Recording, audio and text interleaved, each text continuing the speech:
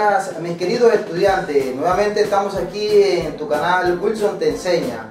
Hoy con un tema de grado 10-11 de secundaria para que tu conocimiento sea más profundo y sea más exacto al momento de hablar. Hoy quiero hablarte de un tema como lo es clasificación de los actos de habla o clases de actos de habla.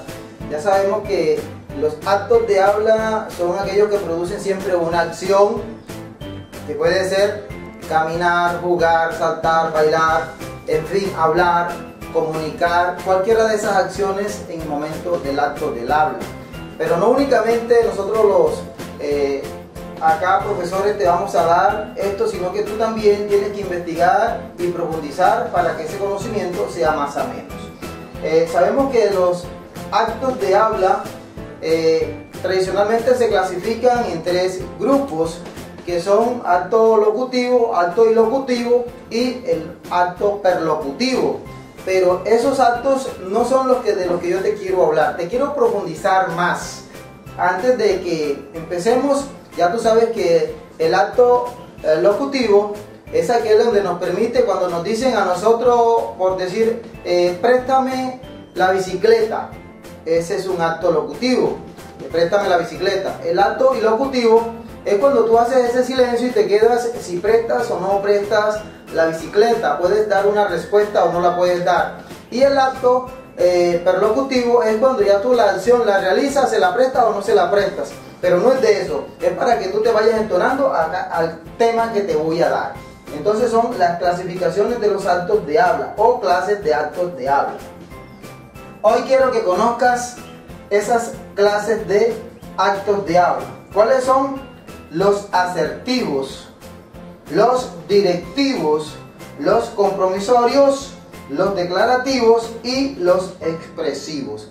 Te voy a explicar cada uno de ellos con mucha calma para que tú allá puedas ya deducir y sacar tus propias conclusiones y te saques de esa duda que a veces tenías que no sabías cuáles eran los actos de habla.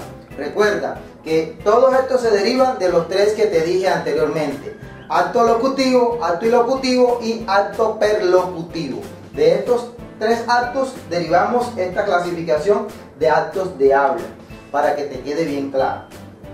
Te voy a explicar entonces el acto asertivo. Dice, acá como ejemplo, eh, como definición, perdón, el hablante afirma algo sobre el mundo en el acto asertivo tú aciertas, tú dices algo que está pasando en ese mundo, ¿ya? El hablante afirma algo sobre el mundo. Te voy a dar un ejemplo. Este ejemplo que te voy a dar acá es para que te lo aprendas. O por lo menos de allí saques conclusión. Llueve a cántaros. Eso es algo que se está afirmando sobre el mundo sobre algo que está pasando en el mundo. Entonces es un acto asertivo. Vamos a hablar ahora del acto directivo o de los directivos. Aquí se dice en la definición, para que te quede más claro, esta es la definición o concepto.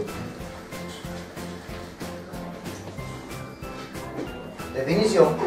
Dice, busca que el oyente actúe según los deseos del hablante para que nos entendamos, cuando tú quieres que alguien te haga algo, tú, según tus deseos, tú le das una orden y le dices, apaga la radio, cierra la puerta, ¿ya?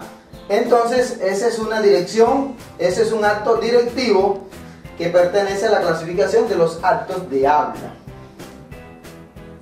Para que afiances más el conocimiento, te voy a hablar de los compromisorios, de los actos de habla compromisorios. Dice, el hablante se compromete a una acción a futuro. ¿Ya? Es decir, a algo que todavía no ha pasado. Acá está el ejemplo. Mañana iré al colegio. Es algo del futuro. Mañana iré a la fiesta. Mañana iré al cine.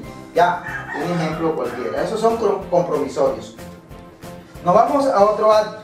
El acto declarativos estos actos declarativos es donde dice que el hablante, por medio de su palabra, de autoridad crea un nuevo estado de cosas. Para que nos entendamos, te doy el ejemplo. Acá pues mostramos el ejemplo donde dice, es la segunda vez que te llamo, que llamo tu atención. Por favor, sal del salón. Si nos damos cuenta, esos son declarativos. Yo estoy dando una declaración, estoy dando una eh, justificación de un acto de que ya yo te había dicho una y por segunda vez, y si tienes tercera también, tercera vez que salgas de mi salón, y por eso te pido el favor, por favor, sal del salón. Esa clase de, de acto de habla la llamamos nosotros declarativos. No olvides que todos estos dependen de los tres primeros actos que son locutivo, locutivo y perlocutivo. Ya, son derivaciones de para que te quede claro. Y por último tenemos los actos expresivos. Estos actos expresivos es donde el hablante manifiesta su sentimiento y actitudes. Por decir algo, me siento orgulloso de ti. Puede ser uno. Otro, estoy muy contento a tu lado. Otro, contigo hasta el infinito. Ya, estoy expresando mi sentimiento, estoy expresando mi emoción, mi actitud.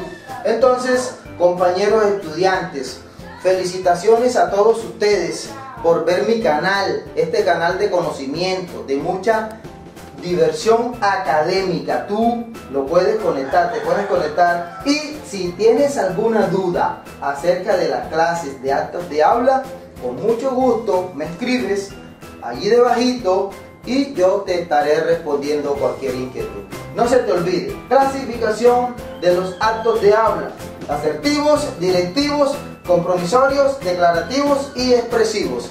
Nos vemos en una próxima edición. Chao.